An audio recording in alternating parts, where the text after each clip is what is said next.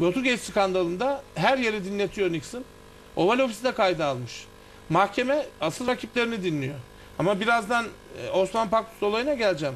Watergate skandalını devlet biliyor rakip partiyi dinlediklerini. Ondan çıkmıyor. Çok net söyleyeceğim bir şey. Herkes rakibi dinledi ortaya çıktı. Hayır. Nixon haddini aşıyor. Yüksek mahkeme üyelerinden birini dinliyor. Onu dinleyince bana göre benim yorumum bu sızdırılıyor.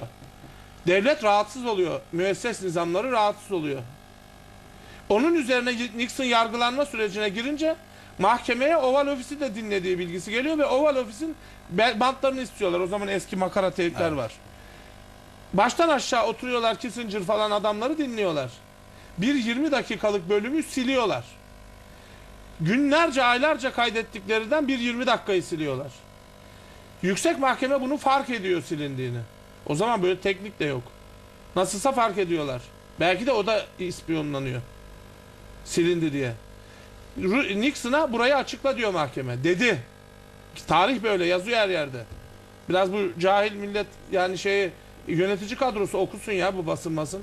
Öyle kulaktan dolma Watergate dediğiniz şey işte bir gazetecinin çıkarttığı şey değil. Bir devlet hesaplaşması. Bir devlet hesaplaşması. Ve sonuçta Nixon istifa etmezse açıklamak zorunda kalacak. Aksi takdirde impeachment denen onların anayasasında var. Azledilmesi. Bizde de askeri kanunda var. Ordu komutanı görev yapamaz duruma gelirse genel e, generallerin imzasıyla gider. 14 tanenin imzasıyla. 24 saatte gider. Hükümet alamaz onlar alırlar kendi genelkurmay başkanı.